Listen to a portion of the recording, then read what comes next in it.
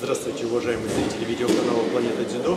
Мы находимся сейчас во Дворце спортивных единоборств, с- комплексе спортивных сооружений ЦСКА. Э, В зале дзюдо здесь проходит одна из последних э, завершающих тренировок дзюдоистов перед сносом этого здания.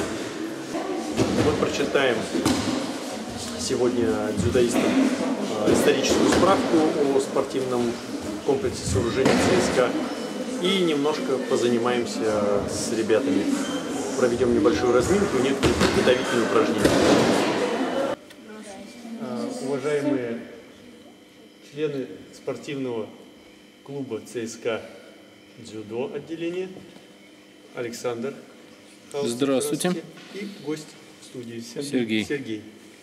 Я Роман Карасев и приехал сегодня к вам в гости прочитать небольшой рассказ исторический о вообще этом месте, где вы занимаетесь. Вы, наверное, видите, что здесь сейчас вот происходит некая такая реконструкция и так далее, все что-то разбирается, что-то машины строят, ездят и, так- и тому подобное. И, конечно же, э, хотелось бы, чтобы вы знали о том, что вообще вот это все такое ЦСК, а точнее комплекс спортивных сооружений под названием ЦСК. Вы занимаетесь здесь, а значит это, я думаю, для вас будет полезно знать. Итак, ЦСКА, Дворец спорта по любви. Называется так рассказ. А почему по любви? Потому что так вот произошло, что вот это вот место и эти спортивные сооружения были построены не просто так, что кто-то там вот так, о, давайте здесь будет вот это. А был один такой человек, Василий Сталин. Может быть, кто-то слышал имя Сталин. А, Был такой руководитель Советского Союза, а сегодня это Российская Федерация. У него был сын Василий, он был летчиком. И он очень влюбился в одну плавчиху. Знаете, что такая плавчиха? Вот не в дзюдоистку. Не в дзюдоистку, Тогда не ну. было дзюдоистки еще. Плавчиха была. Хотя нет, самбистки были. Нет, Нет, самбисты были. Самбисты. А сам- вот самбисток даже не было. И он влюбился в одну плавчиху. Причем не, плов- не просто плавчиху, а чемпионку.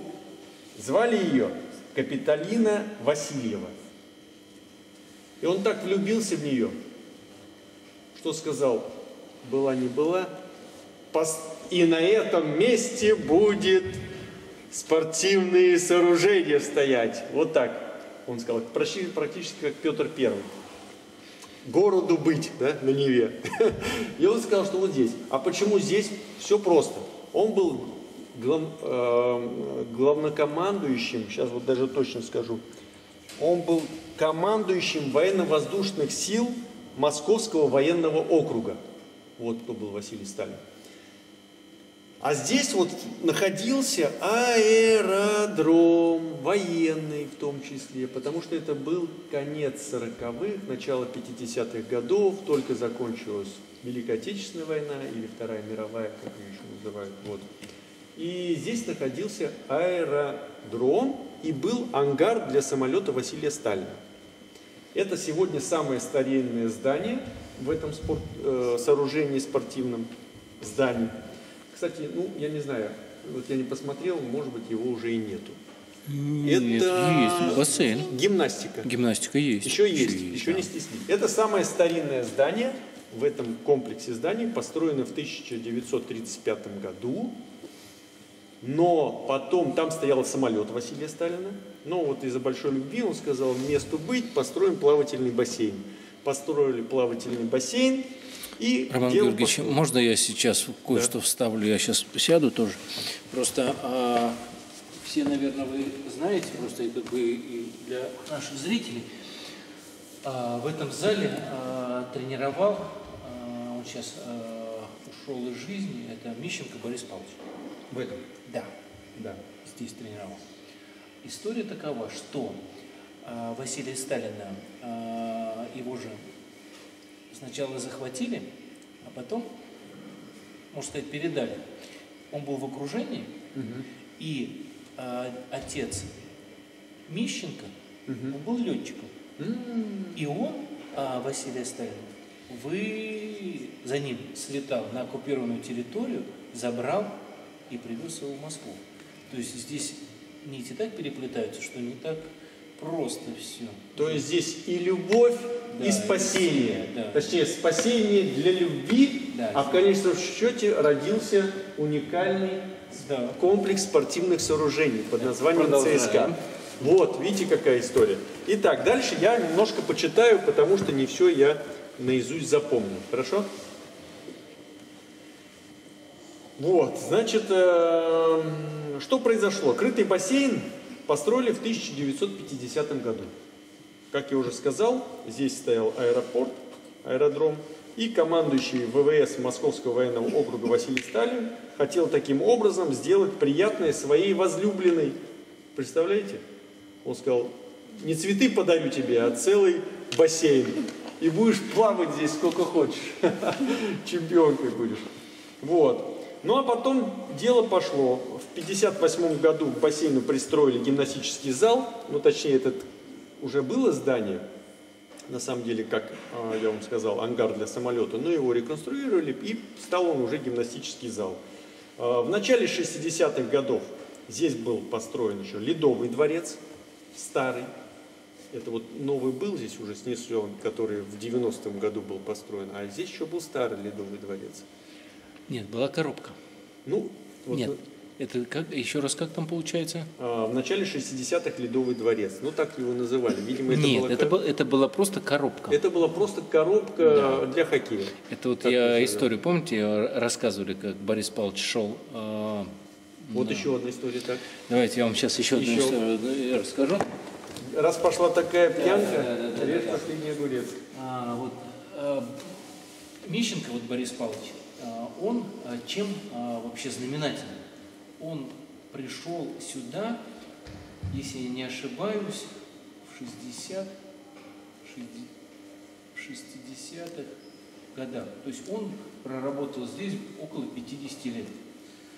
И а, когда играли, а, там, грубо, говоря, это самое, грубо говоря, вот эти в 70-х годах, а, вот это была а, легендарная игра Канада-СССР, а, он мне рассказывал, говорит, на месте была, постро- была обнесена, как это сказать, а, хоккейная площадка такая большая с трибунами, и он однажды шел а, утром и а, смотрит, играют, ну все легенды, не Фетисов, а Харламов, а, и получается что?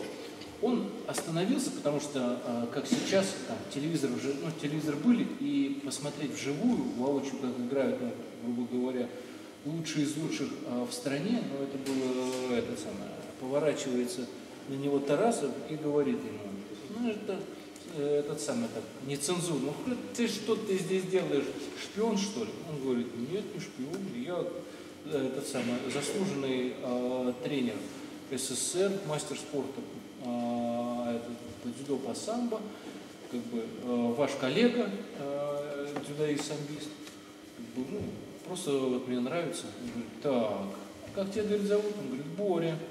Говорит, Боря? Хорошо, Боря, смотри. Говорит, вот мы сейчас готовимся э, к легендарному матчу. Говорит, ну, об этом, правда, никто еще не, не знает.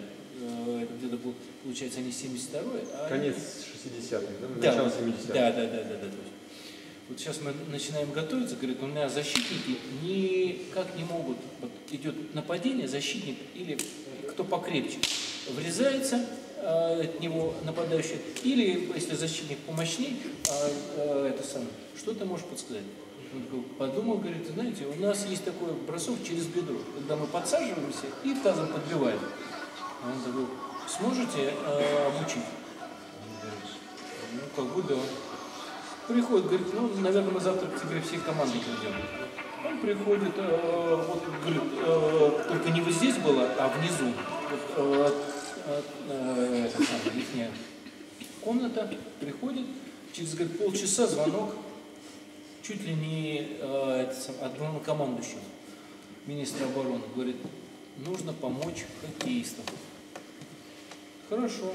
На следующий день, он говорит, вот так этот сам, построилась вся команда хоккеистов, Тарасов сел на лавочку вот сюда, и началось, э, началась тренировка. Он говорит, ну, чтобы было понятно, говорит, давайте побежали, они бегут, э, Борис Павлович подворачивается, бросает через бедро, и вот каждый хоккеист, а, это самое, около 10 тренировок прошел, и вот этот подбив, вот как показали, когда выбрасывали за это, вот это вклад нашего дзюдо и самбо э, в развитие мирового хоккея.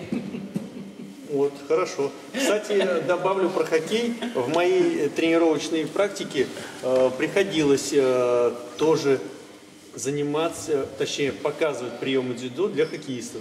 Несколько раз ко мне обращались родители юных хоккеистов для того, чтобы они, э, я показал некоторые приемы, вот такие, как э, Борис Мищенко показывал для тогдашних э, хоккеистов э, ЦСКА и Советского Союза. Итак, продолжаем. Э, в 1966 году был построен дворец тенниса. Это вот здесь был теннисный корт, которого уже, кстати, нет. Вот. В 1971 году был построен дворец тяжелой атлетики. Это вот это здание. Вот это здание построено в 1971 году. Оно называлось Дворец тяжелой атлетики в 1971 году. Дворец тяжелой атлетики, сегодня это называется Дворец спортивных единоборств. Все три дворца проектировал армейский архитектор Юрий Кривущенко. Вот мы сейчас о нем остановимся, потому что все-таки здания не так просто появляются. Их, значит,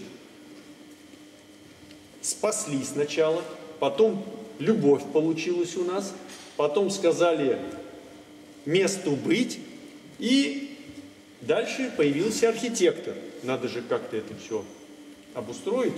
И вот Юрий Кривущенко, он же реконструировал дворец спорта к Олимпиаде 80-го года. Но только сейчас э, забегу немножко вперед, вот этому э, архитектору. У нас здесь ЦСКА, а чем еще знаменательно, э, был Гулевич. Да. Он помогал непосредственно именно планировку угу. внутри, то есть что нужно для именно для борцов, боксеров. То есть он непосредственно именно э, курировал э, можно сказать, этого архитектора именно со стороны спортсменов. То есть он опро- опросил всех, и как бы уже э, это самое, вместе они уже двигались в этом направлении. Итак, э, продолжаем. Значит, у нас появляется еще один персонаж.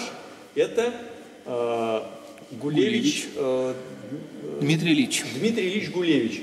Это известная тоже личность, и если вы захотите, вы можете тоже информацию найти или спросить да. у ваших тренеров. Итак, ЦСКА сохранился до наших времен наиболее полно. То есть вот эти все здания, которые вы еще, может быть, кто сколько занимается. Если больше года кто-то занимается, то он еще, скорее всего, видел эти все здания. Э, практически в том же состоянии, что и 40 э, или 50 или 60 лет назад.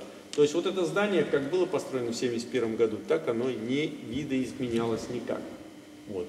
Все здесь вот так и есть. Ну, единственное, что-то может внутри покрасили. Итак, Кривущенко Юрий Георгиевич родился в 1924 году.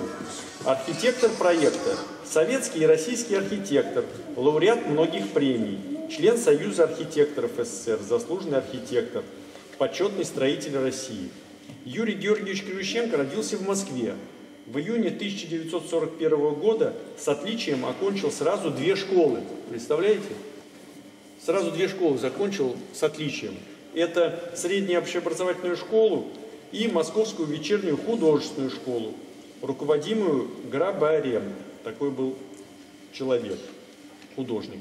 С началом войны уже в июле 17-летний член комитета комсомола Юрий Ковющенко принял активное участие в создании добровольческого отряда из школьников, не достигших призывного возраста – Отряд вошел в 9-ю дивизию народного ополчения Кировского района города Москвы, которая была направлена в район Спас-Деменска, где влилась в состав 175-й стрелковой дивизии Западного фронта.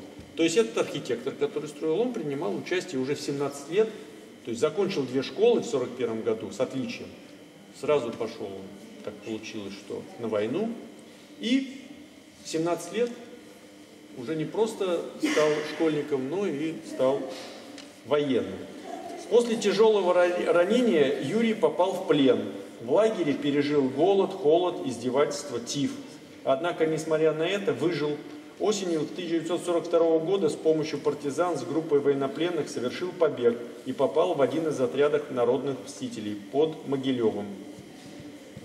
Ну и так далее. Его э, военная, так сказать, история продолжалась до практически конца войны, до 1944 года. Именно в этот год э, он завершает э,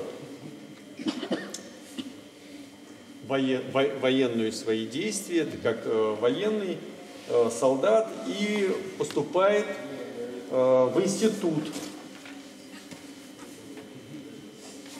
И в этом институте он учится, это Московский архитектурный институт. Учился с 1944 по 50 год.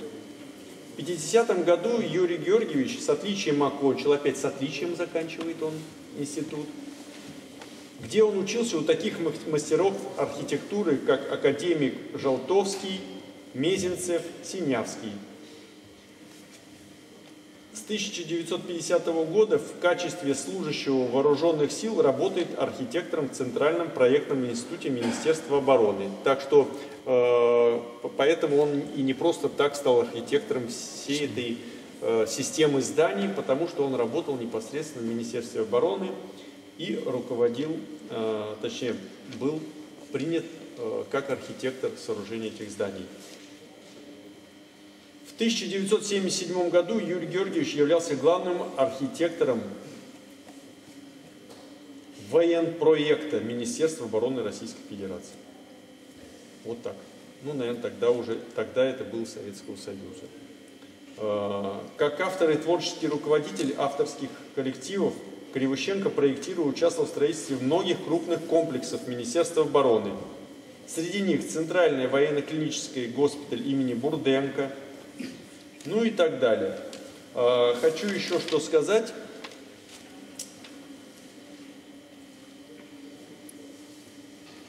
за архитектуру и строительство Олимпийского футбольно-легкоатлетического манежа, вот который находится вот здесь тоже неподалеку, ЦСКА, да? Угу.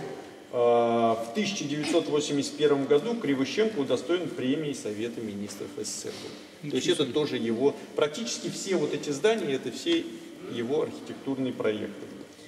Ну и как участник Великой Отечественной войны он был награжден э, орденом Отечественной войны, медалями за победу над Германией, и медалью Жукова.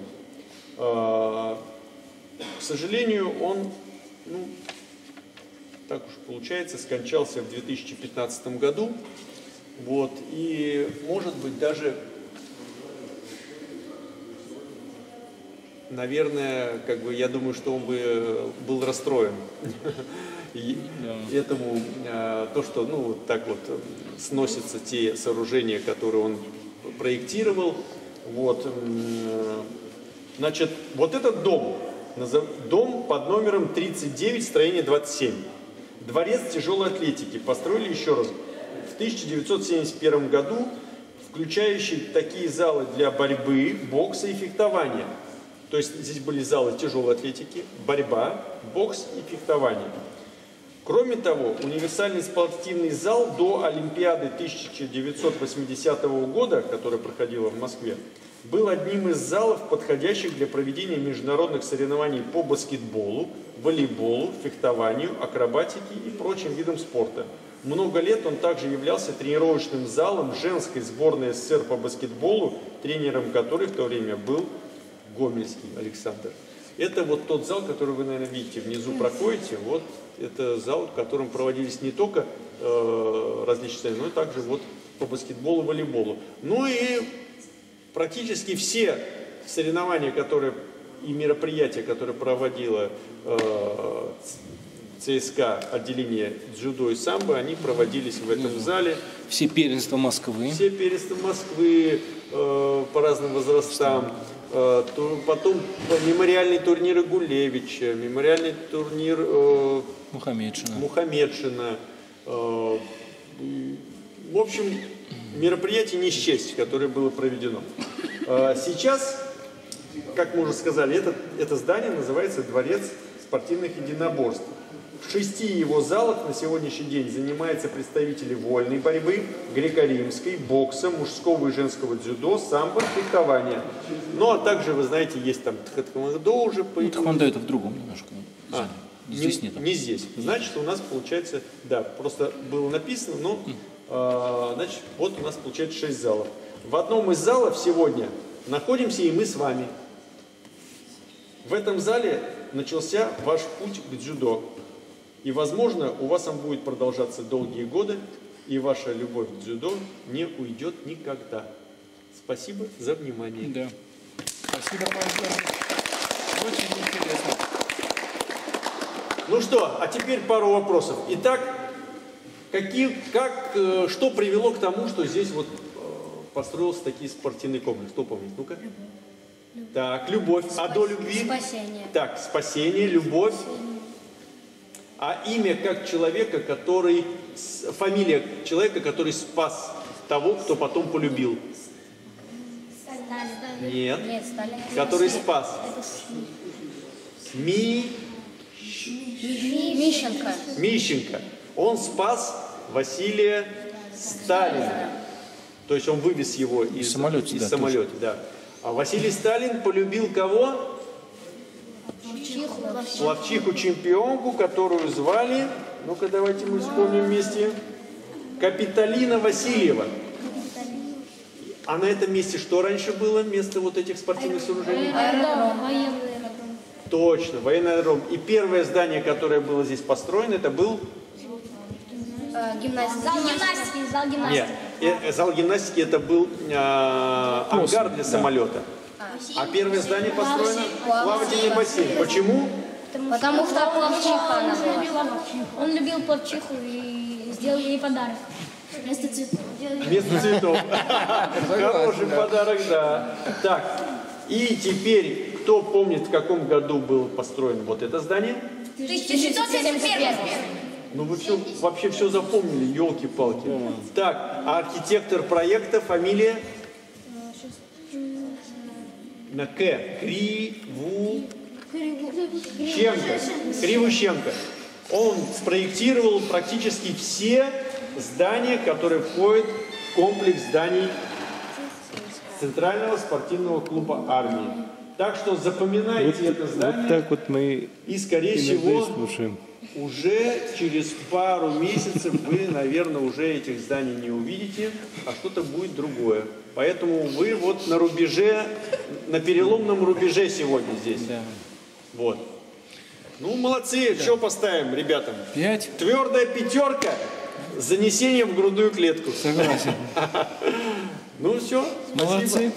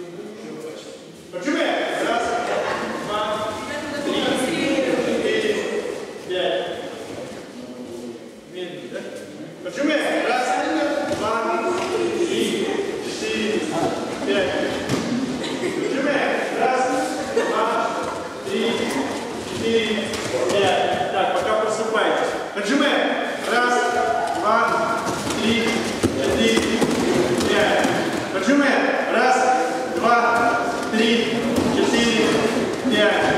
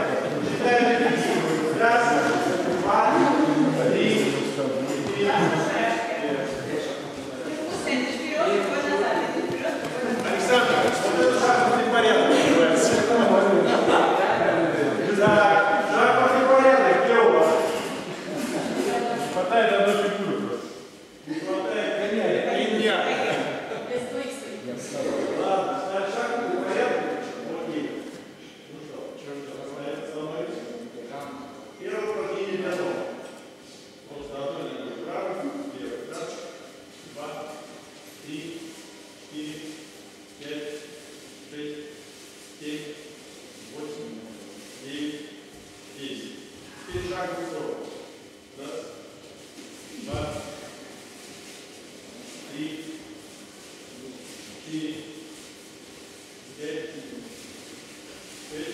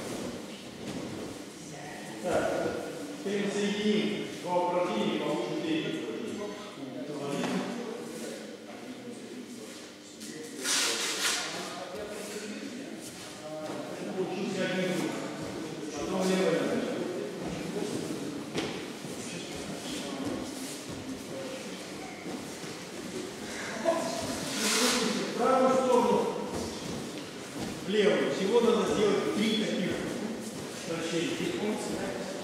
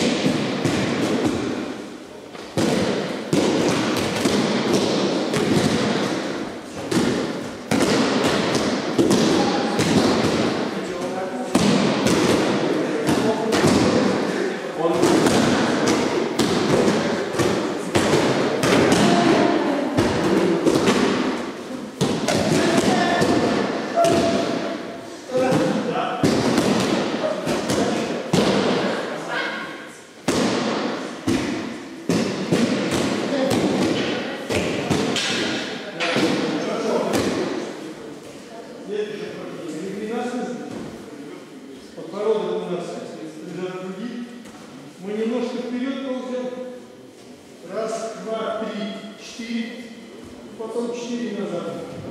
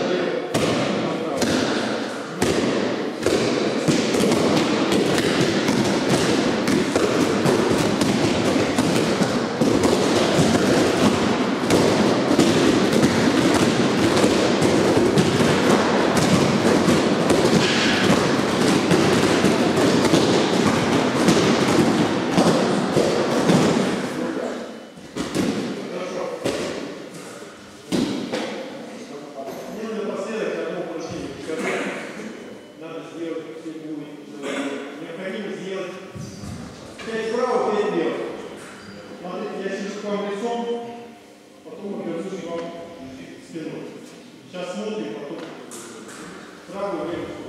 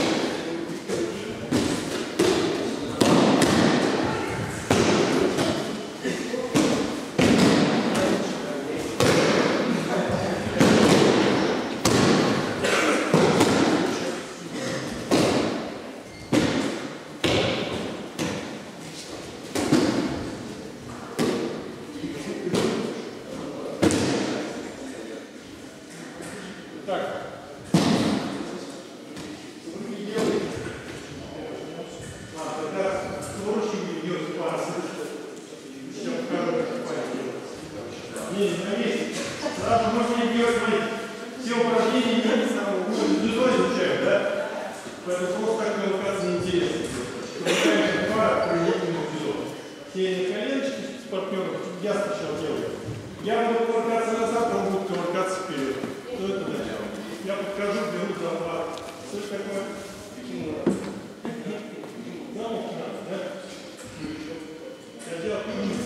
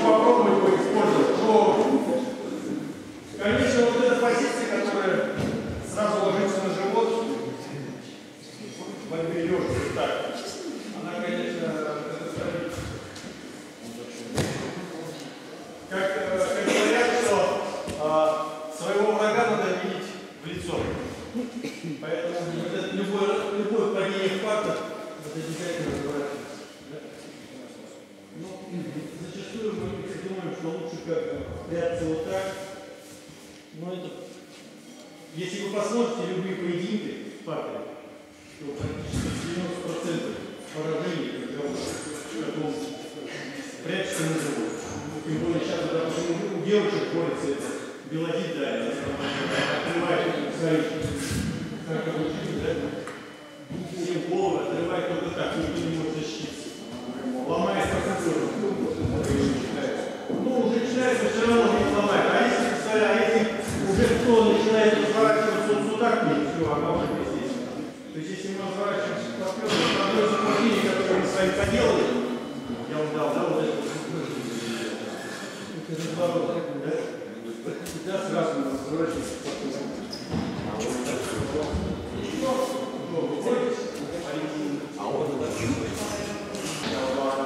Так, отлично.